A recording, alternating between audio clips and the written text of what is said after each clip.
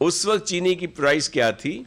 और आज इन फरिश्तों की हुकूमत में चीनी अस्सी रुपये से ज़्यादा क्यों महँगी है? तो ये वो चीज़ें थी और फिर ये तो हम तो इनसे ये पूछते हैं, अवाम इनसे ये पूछता है, पूछ रहे हैं कि जिस तरह इन्होंने सबको मामू बनाया, पीपल्स पार्टी, पीएमएलएन, दीगर पार्टी इस पर क्रिटिसिज्म की, अपने जो इनका मैनिफेस्टो था इलेक्शन का, दीगर जगहों पे, दूसरों को ये जो भी पेश करते रहे उनके, उनको बना के, खुद तो ये फरिश्ते हैं ना। तो फरिश्तों ने क्यों वही काम शुरू कर दिए जो हम बुरे कर रहे थे? तो ये भी इनसे लोग आज पूछ रहे हैं और ये अपनी इन चीज़ों को छुपाने के लिए इस तरह की बातें की जा रही हैं। तो फैक्ट्स और फिगर भी मुकम्मल तौर पर हैं और मैं मुर्ज़ा वहाब साहब से कहूँगा कि वो आपको इनके मुतलक पूरी डिटेल दें।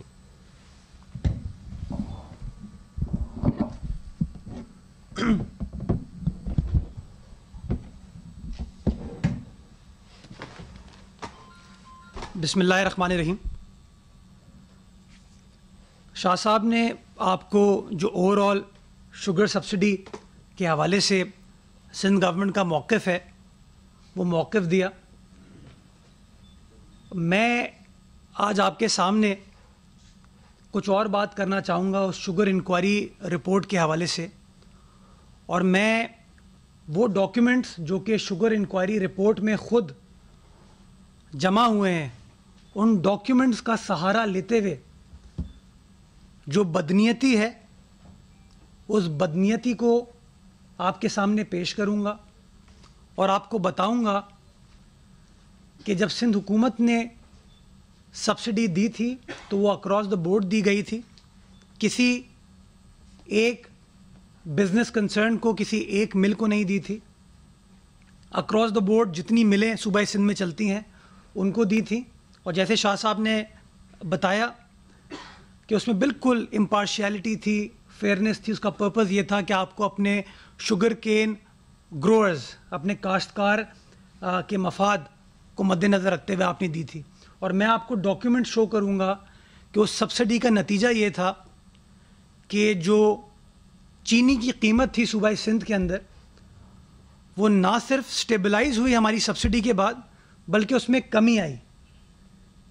मैं वाजे करना चाहूँगा इब्तदा में कि साल 2020 में, साल 2019 में, साल 2018 में सिंध हुकूमत ने कोई भी सब्सिडी शुगर केन सेक्टर को या शुगर इंडस्ट्री को नहीं दी।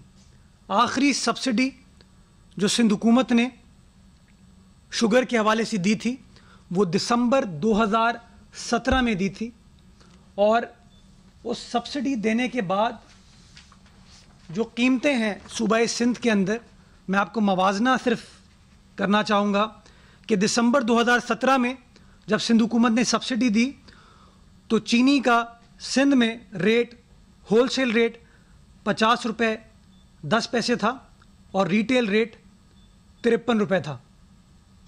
और ये रिटेल रेट जो कि तिरपन रुपये था, ये फरवरी में गिर के इक्यावन रुपये पचास पैसे हुआ, मार्च में गिर के इक्यावन रुपये हुआ। ये शो करता है कि जो सब्सिडी दी गई थी उसके मुस्बित नतज सूबाई सिंध में आए, जिसका फ़ायदा ना सिर्फ़ हमारे काश्तकार को हुआ, बल्कि एक आम आदमी को हुआ, जो कि चीनी को कंज्यूम करता है। और जैसे इंफॉर्मेशन मिनिस्टर साहब ने फरमाया कि हम तो बुरे थे, आज फरिश्तों की जो हुकूमत है, उसमें कैसे अस्सी रुपये किलो की मिल रही है? आज रेट अस्सी रुपये किलो। तो तिरपन रुपये कहाँ, जब हम सब्सिडी थे? और अस्सी रुपये कहाँ मैं समझता हूँ आवाम इस बात का फ़ैसला करेगी। अब मैं आता हूँ इस रिपोर्ट के ऊपर। नवंबर 2019 से लेके जनवरी 2020 तक पाकिस्तान के अंदर शुगर की एक सपोजिडली किल्लत हुई, जिसकी वजह से कीमतों में इजाफा हुआ। बड़ा सिंपल कि डिमांड सप्लाई का गैप था। सप्लाई कम थी, चीनी की डिमांड ज़्यादा थी। मुनाफा खोरों ने इससे फ़ायदा उठाया और चीनी की कीमतों में इजाफा किया। वज़ीर अजम पाकिस्तान ने 20 फरवरी को एक इंक्वायरी ऑर्डर की। उन्होंने कहा, मुझे अदराक है, लोगों की परेशानी का, मैं चाहता हूँ ये मामला ख़त्म हो तो इसलिए मैं एक इंक्वायरी कमेटी तश्कील देता हूँ। जिस इंक्वायरी कमेटी के टी थे। उस इंक्वायरी कमेटी ने अपनी रिपोर्ट 9 मार्च को वज़ीर अजम पाकिस्तान को जमा कराई। तकरीबन 18 रोज़ बाद अपनी रिपोर्ट वज़ीर अजम पाकिस्तान को जमा कराई। जो रिपोर्ट ये है। इस रिपोर्ट की तश्कील या इस रिपोर्ट को बनाते वक्त एक बार भी वज़ीर अला सिंध को ना नोटिस मिला, ना कोई सवालनामा मिला, ना किसी ने इंटीमेट किया। इस इंक्वायरी कमेटी के जो टीओआर थे, वो तकरीबन नब्बे फ़ीसद वही टीओआर हैं जो कि इंक्वायरी कमीशन के हैं। तो इंपॉर्टेंट चीज़ ये है कि इस इंक्वायरी रिपोर्ट में एक बार भी सूबाई सिंध के वज़ीर अला को सिंध हुकूमत के सरबराह को एक बार भी मदू नहीं किया गया। क्यों मदू नहीं किया गया? कि इस पूरी रिपोर्ट में जो उसका फोकस था, वो 2019 की शुगर प्राइसेस थी।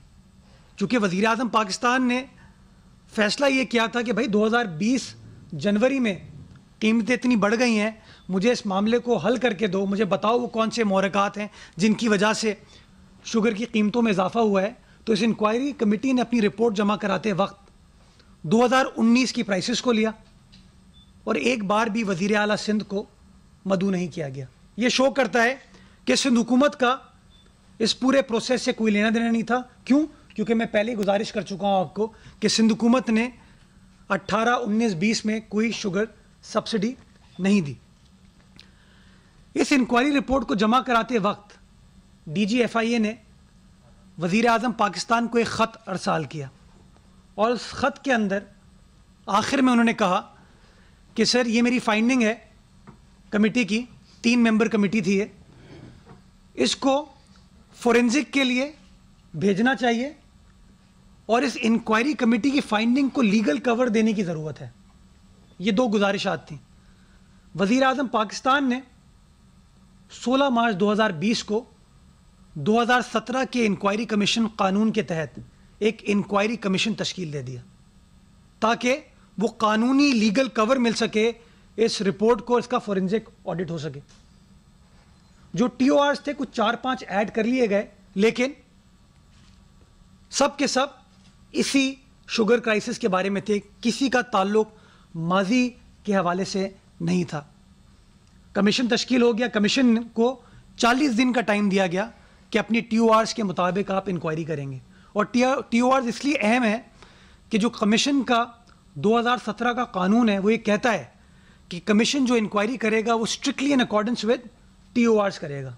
टीओआर क्या है? मैंने आपको बताया कमेटी के और कमीशन के वो तकरीबन नब्बे फ़ीसद सेम है, उसके अंदर कोई डिफरेंस नहीं है और इंक्वायरी कमेटी के अंदर 2019 के फिगर्स को रेस किया गया। 40 दिन गुजर गए। अगेन वज़ीर अला सिंध को कभी रुजू नहीं किया। एक बार कोई वज़ीर अला सिंध को ख़त नहीं आया। पहला ख़त वज़ीर अला सिंध को आता है 11 मई 2020 को। फ़र्स्ट और वज़ीर अला सिंध को कहा जाता है कि आप तेरह तारीख को हमारे सामने पेश हों। वज़ीर अला सिंध, जो कि माजी में तमाम इंक्वायरी कमीशन के सामने अपियर हुए हैं, चाहे वो जे आई टी हो, चाहे वो नैब हो उन्होंने अपनी कानूनी टीम से मशावरत की और मशावरत के बाद ये फ़ैसला किया गया कि चूँकि ये मामला वज़ी अजम ने 2019-20 के शुगर क्राइसिस के हवाले से उठाया था और सिंध हुकूमत का उस प्रोसेस से कोई लेना देना नहीं है तो इसलिए ये टी के एन मुताबिक नहीं है और आपको जाने की ज़रूरत नहीं है। वज़ी अला सिंध ने एडवोकेट जनरल सिंध के ज़रिए तेरह मई को इंक्वायरी कमीशन को अपना जवाब भेजा और यही तमाम गुजारिशात की कि जी, मैं आपके दायरे कार में नहीं आता हूँ। इंक्वायरी कमीशन ने तेरह तारीख को ही, ये बड़ा इंपॉर्टेंट है कि तेरह तारीख को सुबह बुलाया, तेरह तारीख की सुबह को सिंध हुकूमत का ख़त मिलता है उनको, उसी तेरह तारीख को वो हमें एक जवाबी ख़त लिखते हैं। और कहते हैं, नहीं जी नथिंग डूइंग चौदह मई को सुबह इतने बजे वज़ीर अला सिंध को आना पड़ेगा और हमारे दायरे कार में आता है ये। और उन्होंने हवाला दिया। उनकी इन राइटिंग है ये बात। उनके ख़त में उन्होंने हवाला दिया टी ओ आर के का। Was export of sugar justified any subsidy given on export and its impact with potential beneficiaries इसका उन्होंने हवाला दिया। मेरी अगेन गुजारिश थी और हमने इसका जवाब दिया उनको कि ये अगेन 2019-20 के हवाले से था, जब शुगर क्राइसिस पाकिस्तान के अंदर हुआ। और आप सबको पता है कि एक्सपोर्ट इंपोर्ट करने का इख्तियार किसी सूबाई हुकूमत के पास नहीं है। किसके पास है? आईने पाकिस्तान के तहत वफाकी हुकूमत के पास। Entry number 27 import, export is the exclusive domain of the federal government of Pakistan. It has got nothing to do with the provincial government. हमने फिर उनको कह दिया कि जी, हम आपके दायरे कार में नहीं आते अब मैं आपको बताता हूँ कि वो दायरे कार में लाने की कोशिश क्यों कर रहे हैं जैसा कि मैंने गुजारिश की कि एक्सपोर्ट का फैसला करना किसकी ज़िम्मेदारी है वफाकी हुकूमत की ज़िम्मेदारी है ये शुगर कमीशन की जो साढ़े तीन सौ पेजेस पर मुश्तमिल रिपोर्ट है, इस रिपोर्ट में मैं आपको पढ़ के सुनाऊँगा, जहाँ पे उन्होंने लिखा है कि we have evidence to back up our statement कि एक्सपोर्ट की वजह से चीनी की कमी हुई और चीनी की प्राइसेस में इजाफा हुआ। सिंपल इकोनॉमिक्स है। सप्लाई कम हो गई डिमांड बढ़ गई, कीमतों में इजाफा कर लिया गया।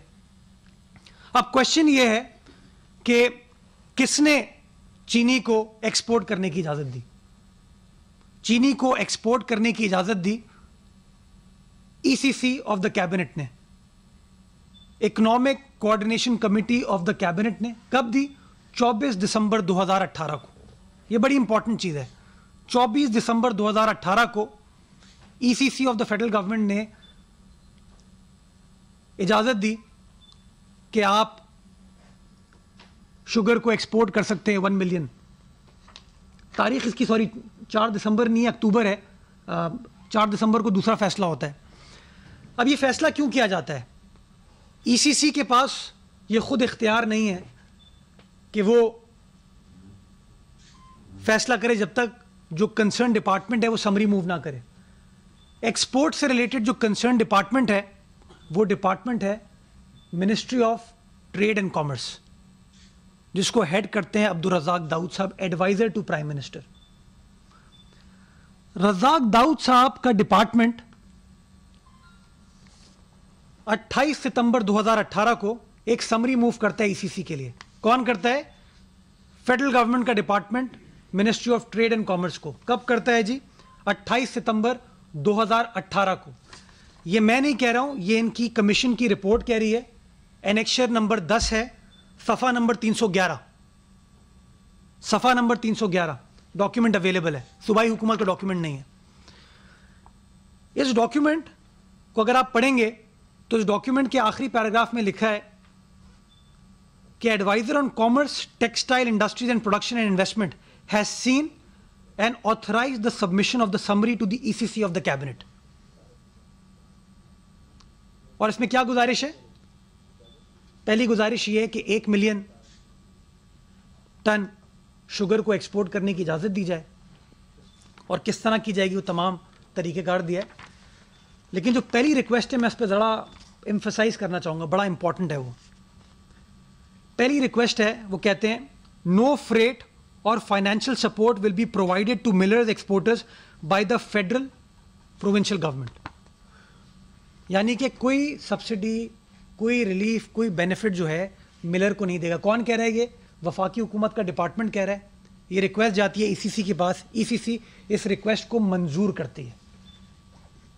और चुनाचे एक मिलियन टन शुगर को एक्सपोर्ट करने की ईसीसी इजाज़त दे देती है और ईसीसी फेडरल कैबिनेट वज़ीर आज़म सब कहते हैं ना कि कलेक्टिव मिनिस्ट्रियल रिस्पॉन्सिबिलिटी है। कल मैं कुछ नून लीग के दोस्तों का भी स्टेटमेंट सुन रहा था। कहते प्राइम मिनिस्टर के हवाले से। मैं आपकी जो अटेंशन है, वो ड्रॉ करना चाहूँगा असल कागज़ पे, जो कि बाद में फिर मूव किया गया। और वो कागज़ है जिसकी तारीख है तीन दिसंबर 2018 तीन दिसंबर 2018 को ministry of trade and commerce ने एक और समरी ईसीसी को भेजी। अब ये बड़ी इंपॉर्टेंट है कि सितंबर की समरी एक मिलियन टन की जिसके अंदर कहा था, कोई सब्सिडी नहीं दी जाएगी, कोई फ्रेट चार्जेस नहीं दिए जाएँगे. वो अक्टूबर में ईसीसी ने अप्रूव कर ली। अप्रूव हो गई वो। तीन दिसंबर 2018 को एक और समरी मूव करती है ministry of trade and commerce ये एनेक्शर 11 है इस कमीशन की रिपोर्ट का, और सफ़ा नंबर 322 पर यह डॉक्यूमेंट अवेलेबल है। यह डॉक्यूमेंट अवेलेबल है। इस डॉक्यूमेंट के अंदर तीन मैं इंपॉर्टेंट पॉइंट्स हाईलाइट करना चाहूँगा। पहली चीज़, पहली रिक्वेस्ट कि एक्सपोर्ट की इजाज़त में फर्दर इजाफा किया जाए। वन मिलियन टन से 1.1 मिलियन टन कर दिया जाए। दूसरी रिक्वेस्ट कि दो अरब रुपए का फ्रेट सपोर्ट दे दिया जाए। पहले इजाज़त दी गई थी, जो कि रजाक दाऊद साहब ने समरी मूव की थी, वो एक मिलियन टन की थी, जिसको ईसीसी ने अक्टूबर में अप्रूव कर दिया। तीन दिसंबर 2018 को एक और समरी मूव करते हैं ministry of trade and commerce उसमें बड़ी सारी गुजारिश गुजारिशात है, उसमें तीन इंपॉर्टेंट गुजारिशात हैं, जिसको मैं हाईलाइट करना चाह रहा हूँ। पहली चीज़ कि एक मिलियन टन से आप एक्सपोर्ट परमिशन को बढ़ा के 1.1 मिलियन टन कर दें। यानी कि 11 लाख टन एक्सपोर्ट की इजाज़त दे दें आप। पहले 10 लाख थी। दूसरी चीज़ कहते हैं कि फाइनेंस डिवीज़न में भी directed to immediately release 2 billion of outstanding freight support claims दो अरब रुपए फौरी तौर पर फ्रेट सपोर्ट क्लेम के इशू कर दिए जाए। और तीसरी important request in case freight support is decided to be provided on export of sugar, the decision of ECC dated so and so, ratified by the cabinet, on not providing freight support on export of sugar by the federal government will have to be reviewed. यानी कि रजाक दाऊद साहब की summary में कहा था no freight support at all इन्होंने कहा नहीं उसमें लचक दिखाएँ ये कागज़ बहुत ज़रूरी है जो लोग आके टीवी पर बड़ी बड़ी प्रेस कॉन्फ्रेंसेस करते हैं लोगों की पगड़ियाँ उछालते हैं, इल्ज़ाम तराशी करते हैं। मैं उनको बताना चाहूँगा, आप सबके पास ये रिपोर्ट अवेलेबल है। नहीं है, मैं आपको प्रोवाइड कर दूँगा। पेज नंबर सफ़ा नंबर 322 टाइटल है इसका resolution of issues confronting the sugar industry summary for the ECC of the cabinet copy number 69 secret इस डॉक्यूमेंट के पैरा नंबर पाँच पे लिखा है। ये बड़ा इंपॉर्टेंट है अब। Adviser on commerce textile industries and investment has seen and approved the summary यानी कि जैसे पिछली बार हुआ था, रजाक दाऊद साहब ने इसको अप्रूव किया नीचे वाला paragraph para six prime minister minister in charge for commerce has seen and approved submission of summary to the ECC of the cabinet Urdu में पढ़ देता हूँ आसान। वज़ीर आज़म प्राइम मिनिस्टर वज़ीर आज़म वज़ीर आज़म कौन? इमरान खान साहब।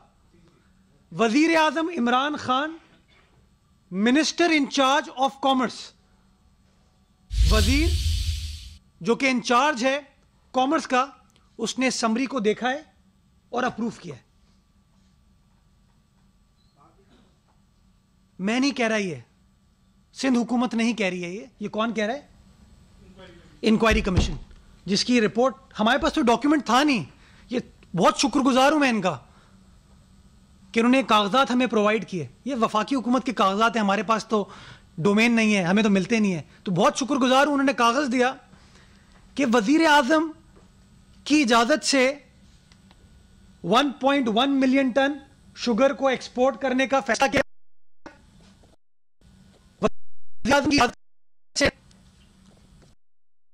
सब्सिडी लचक दाने की फ्रेट पे लचक की इजाज़त दी गई और दो अरब रुपए फ्रेट सब्सिडी फौरी तौर पर पे करने की इजाज़त दे दी गई। इसका अप्रूवल जो वज़ीर आज़म की रिक्वेस्ट थी, इसका अप्रूवल पेज 69 ऑफ़ रिपोर्ट पे है। पेज 69 ऑफ़ रिपोर्ट पे पैरा नंबर 224 मैं पढ़ देता हूँ ताकि तमाम लोग समझ सकें इस चीज़ को। On fourth December 2018 in the ECC meeting the following were allowed annexure 11 जो मैंने आपको बताया है पढ़ के सुनाया export quota to be enhanced by 01 0.1 million metric tons without any freight support since the entire issue of freight support arose due to varying procurement prices of sugarcane fixed by the provincial governments, therefore, the freight support may be determined paid by the respective provincial governments if deemed appropriate. इसलिए बोजदार साहब ने freight support दी वो भी बेचारा मजलूम आदमी जो है ना, उसको उन्होंने ट्रांसफ़र कर दिया। और तीसरा the ECC directed the ECC directed finance division to release rupees 2 billion for payment of outstanding claims of freight support for sugar export being federal share ये कहते हैं ना शायद खाकान अब्बासी साहब की हुकूमत ने गलत काम किए थे। उसके पैसे माशाल्लाह पेमेंट ये लोग कर रहे हैं। ये मैं नहीं कह रहा हूँ ईसीसी का फैसला कह रहा है। अब कुछ और मैं पॉइंट्स पढ़ दूँ जो कि इस रिपोर्ट में खुद इंक्वायरी कमीशन ने मेंशन किए हैं। पेज नंबर सत्तर पैराग्राफ नंबर 230 इंक्वायरी कमीशन कहता है, ये सुनिए जरा इंक्वायरी कमीशन कहता है, he was further asked that why despite the fact that the issue of rapidly increasing prices was raised in sugar advisory board meetings by the provinces. Despite the fact कि सूबों ने sugar advisory board में बार बार चीनी की कीमतों में इजाफे का इशू रेस किया no decision was made to discontinue the export of sugar सूबे बार बार कह रहे हैं कि कीमतों में इजाफा हो रहा है चीनी के शुगर एडवाइजरी बोर्ड में कह रहे हैं। लेकिन आप कुछ नहीं कर रहे। ये क्यों इंपॉर्टेंट है? वो इसलिए इंपॉर्टेंट है कि जब ईसीसी ने पहला फैसला किया था शुगर एक्सपोर्ट की इजाज़त देने का, उस रिपोर्ट में लिखा है, उस फैसले में लिखा है in case of any abnormal increase in the domestic price of sugar the committee would recommend to the ECC of the cabinet for discontinuation of further export यानी कि जो ईसीसी का फैसला था, वो भी मशरूत था कि कीमतें पाकिस्तान के अंदर स्टेबलाइज अगर नहीं रहीं, अगर कीमतों में इजाफा हुआ तो आपको एक्सपोर्ट को मअतल करना पड़ेगा ताकि पाकिस्तान की आवाम को सस्ती चीनी मिल सके। लेकिन उन्होंने मुअत्तल नहीं किया। इनका इंटरेस्ट था जाए, चीनी बाहर क्या फ़र्क पड़ता है? पैराग्राफ 234 पेज नंबर इकहत्तर।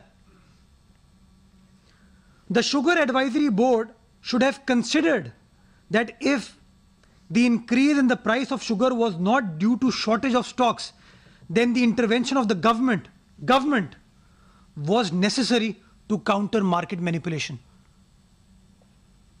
कौन कह रहा है ये कमीशन कह रहा है किसके लिए कह रहा है गवर्नमेंट के लिए कह रहा है गवर्नमेंट ने कुछ किया कुछ किया कुछ नहीं para number 233 the commission has gathered ये मैं नहीं कह रहा हूँ। सिंध हुकूमत नहीं कह रही है ये। The commission has gathered enough evidence to establish that the export of sugar is one of the reason for increase in price of sugar in the domestic market कौन कह रहे ये? कमीशन कह रहे हैं। मैं उर्दू में पढ़ देता हूँ। कि कमीशन ने कमीशन ने इतना मवाद, इतना एविडेंस इकट्ठा कर लिया है कि ये कहा जा सकता है कि इतना एविडेंस है कि चीज़ साबित होती है कि शुगर की एक्सपोर्ट एक बड़ी वजह है कीमतों में इजाफे की। ये सारी बातें अब ये कमीशन कह रहा है, सिंध हुकूमत नहीं कह रही। अब मैं इन तमाम बातों को समराइज करता हूँ। सबसे पहले, अगर कीमतों में इजाफा हुआ, बल्कि नहीं एक्सपोर्ट की इजाज़त किसने दी? वफाकी हुकूमत ने दी। ईसीसी ने दी। वफाकी हुकूमत का सरबरा कौन है? वज़ीर आज़म पाकिस्तान इमरान खान साहब। इमरान खान साहब की ईसीसी कमेटी को समरी किसने पेश की? Ministry of trade and commerce ने पेश की। पहली बार वो समरी रजाक दाऊद साहब पेश करते हैं, जिसके अंदर बहुत सख्तियाँ थी। वन मिलियन टन की इजाज़त तो मांगी थी, लेकिन सख्तियों के साथ। उन सख्तियों पर रिलैक्सेशन के लिए एक और समरी मूव होती है, तीन दिसंबर को। वो समरी कौन करता है move ministry of trade and commerce लेकिन ये समरी रजाक दाऊद साहब मूव नहीं करते अकेले। ये समरी मूव करती है डिपार्टमेंट वज़ीर आज़म की मंजूरी के बाद। ये मैं नहीं कह रहा हूँ, ये कागजात कह रहे हैं। वो कागजात कह रहे हैं जो कि कमीशन की रिपोर्ट में लगे हुए अब मेरा सवाल ये है कमीशन खुद कह रहा है कि शुगर की एक्सपोर्ट की वजह से कीमतों में इजाफा हुआ जिसका नुकसान हुआ, जिसके लिए वज़ीर आज़म को एहसास था कि गरीब आदमी मुश्किल में है तो उन्होंने कहा जी इन्वेस्टिगेशन होनी चाहिए। कहीं पर वज़ीर आज़म पाकिस्तान को कोई चिट्ठी लिखी उन्होंने? कहीं पर? मुराद अली शाह के लिए, सिंध हुकूमत के लिए चिट्ठी भी लिख दी जाती है। शहजाद अकबर साहब प्रेस कॉन्फ्रेंस करते हैं तो प्रेस कॉन्फ्रेंस में भी फोकस जो है वो सिंध हुकूमत होती है, मुराद अली शाह साहब होते हैं। हमारी सारी काबीना साथ खड़े हैं।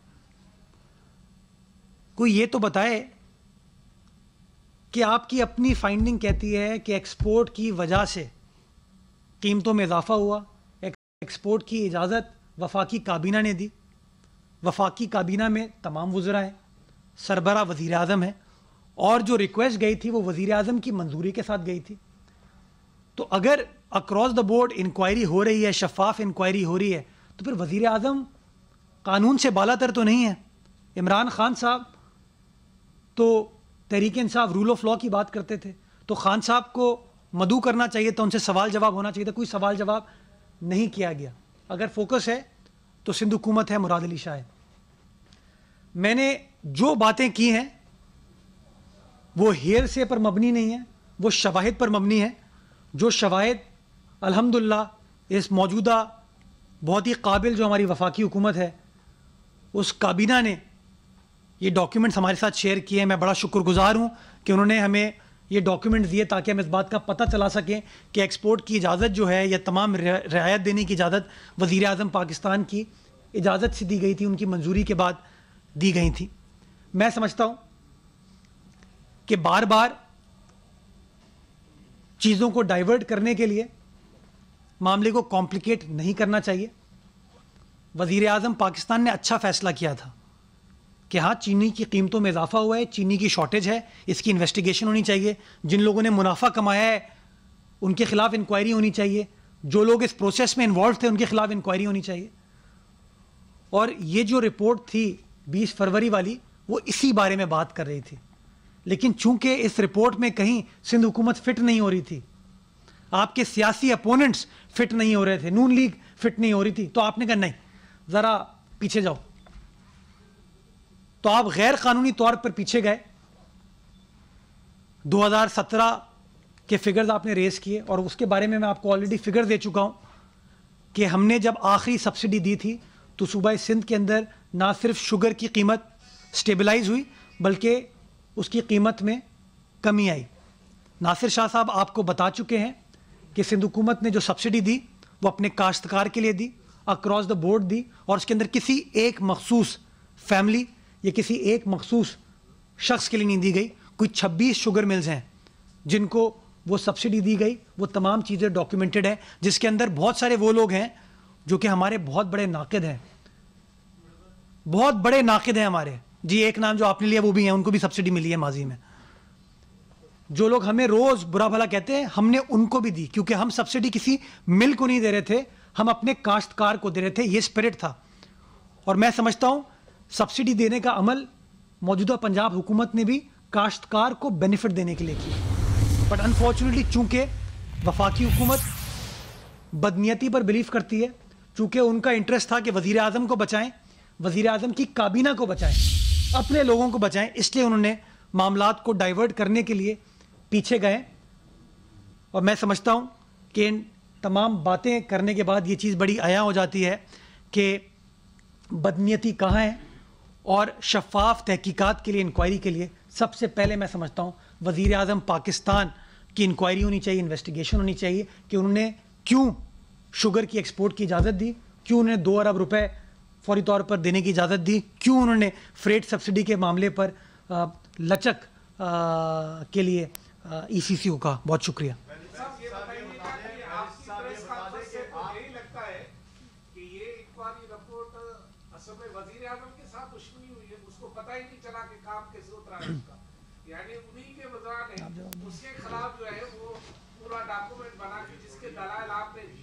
तो फिर तो वज़ीर आज़म आता है। तो तो सबसे वो वो माजी में लोग कहते थे ना, किसी और के लिए कि अंग्रेज़ी में रिपोर्ट थी, बाद में समझ आई। तो मैं समझता हूँ, अगर शायद पढ़ लेते तो बेहतर होता। मैं किसी के ऊपर इल्ज़ाम तराशी नहीं करना चाहता, मेरे लिए सब काबिल एहतराम है। मैं सिर्फ़ फेयरनेस की बात कर रहा हूँ। मैं सिर्फ़ ये बता रहा हूँ कि जो स्पिरिट था इंक्वायरी का वो अच्छा था कि जी, कीमतों में इजाफा हुआ है, उसकी इन्वेस्टिगेशन होनी चाहिए। मैं समझता हूँ फरवरी में उसकी इन्वेस्टिगेशन रिपोर्ट आ गई थी बट अनफॉर्चुनेटली चूँकि उसमें अपने लोग फंस रहे थे तो मामला को डाइवर्ट करने के लिए ये माजी की तरफ़ चले गए। लेकिन वो कहते हैं ना कि जब आप गलत काम करते हो तो फंसी जाते हो।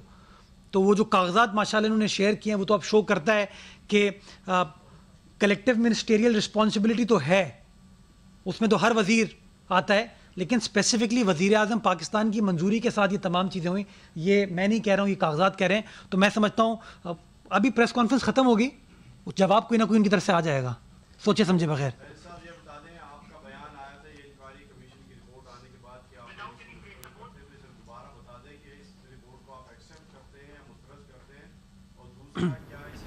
तर्जुमान सिंध हुकूमत मुर्तज़ा वहाब न्यूज़ कॉन्फ्रेंस कर रहे हैं और कहते हैं कि सिंध हुकूमत ने सब्सिडी सबको दी, चीनी पर सब्सिडी किसी एक को नहीं मिली। सब्सिडी के बाद चीनी की कीमत में कमी आई थी। आखिरी बार सूबे में 2017 में सब्सिडी दी गई थी। और मौजूदा विफाकी हुकूमत ने जो इस हवाले से तहकीक़ात का सिलसिला शुरू किया है, वो अच्छा किया है, लेकिन अब खुद विफाकी हुकूमत इस तहकीक़ात में